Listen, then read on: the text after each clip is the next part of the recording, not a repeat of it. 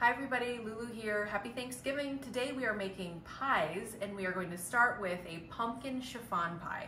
Pumpkin chiffon is a lighter version of a regular pie which is really refreshing after you've had a really heavy Thanksgiving meal. So here's what you need.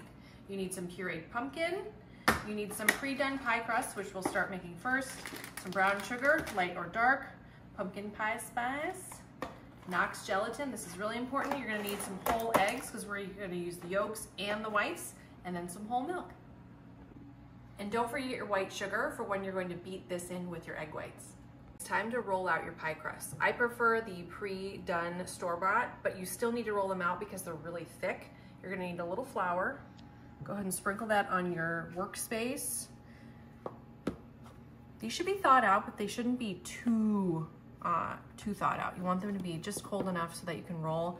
And then get some type of a, um, a rolling pin. Some people prefer wood, some people prefer um, stone. And then just gently start to push out your pie crust. Thin it out just a little bit, and then we're gonna put it on the pie plate. Now you're gonna take your pie plate and you want to fold your pie crust into a half and then into a fourth. And it looks like a pizza now. You're just gonna pick it right up and transfer that on to your pie plate and unfold it. This is the easiest way that I found to get the pie crust into the pie plate. And now we're gonna cut a little bit. Make sure it goes down evenly. Look at how much extra pie crust there is. This is why I always roll it out because it gets really thick. Okay. There's our oven preheating. All right, now you're gonna take a knife and just go around the outside with your excess pie crust that you're not gonna be using. And then we're gonna go ahead and flute the edges. I'm going around the outside of the pie crust now and I'm just pinching the edges. This will help me get that cute little crust that everyone likes. Doesn't have to be perfect, it just has to be up and out of the way, not drooping over the edge. Sometimes you get a little extra, just rip it off with your hands. No big deal. And keep going.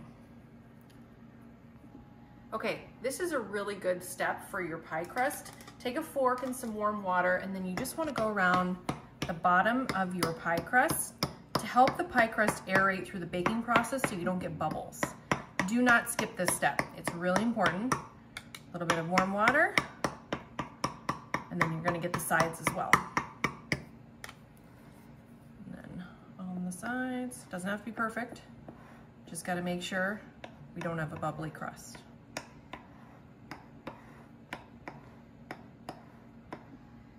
Okay, so now we get to bake the crusts. Remember, this is a cold pie, so we wanna bake the crust first, and then we're going to make the pumpkin pie filling, which is a separate process.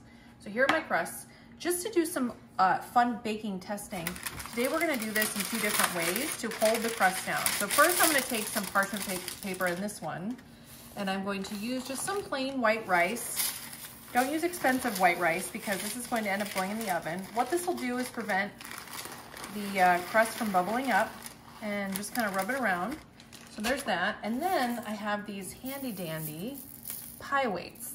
And that we are gonna put in the second one. We'll do the same thing.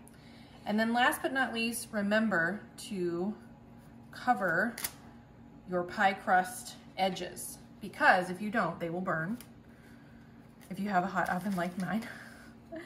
and then we're gonna put these in the oven at 450 degrees for about 10 to 12 minutes. It's time to put our pie crust in the oven. Make sure you have a middle of the oven grate that you're using and then make sure you disperse these evenly on the rack. 10 to 12 minutes. The time has come to make the inside of the pumpkin chiffon pie. We're gonna start with adding, now I doubled the recipe, so we have about one and a half cups of brown sugar, if it will come out of this. There we go. Wanna make sure you get that easily to mix. Then I'm taking my Knox gelatin. This is really important. You cannot skip this step. You're gonna mix that in as well. Vegans and vegetarians, look away now.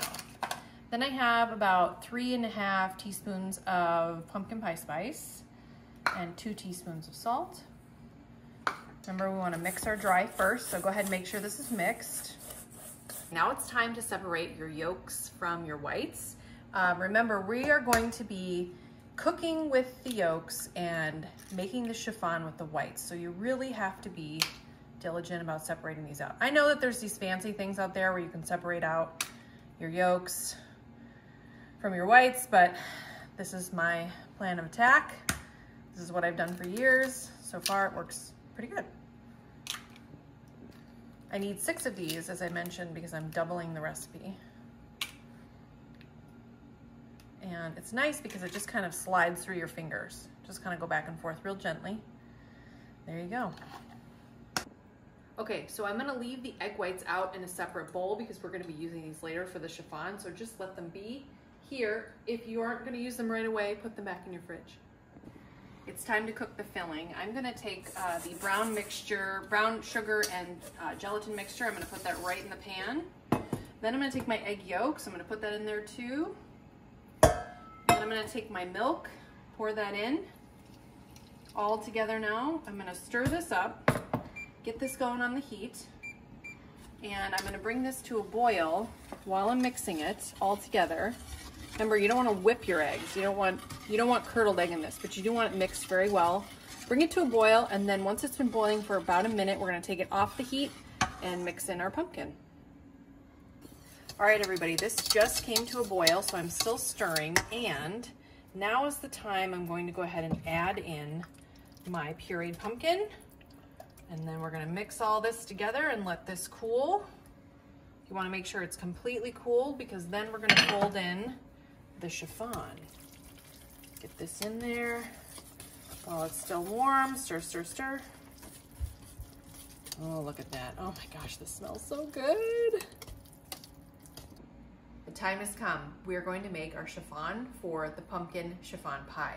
Uh, here's the pumpkin. It's fully cooled. You want to make sure that this is cold. And then we let our egg whites come to room temperature. We're going to go ahead and mix these in with the sugar. And then we're to beat until this comes to a white stiff peaks. That's what you want. Go ahead and add your sugar. I like to use a hand mixer. You could use a, a KitchenAid if you want. And here we go.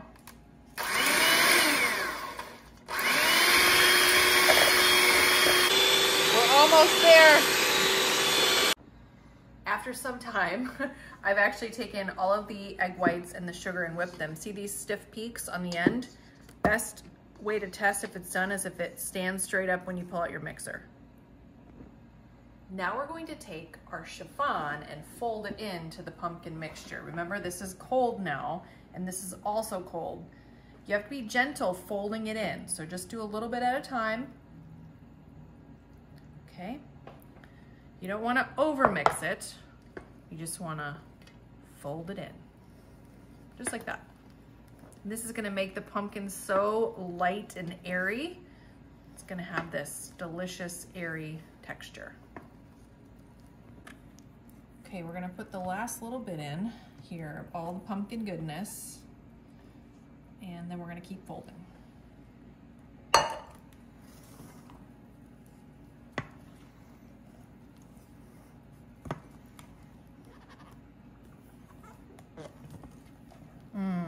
Look at that.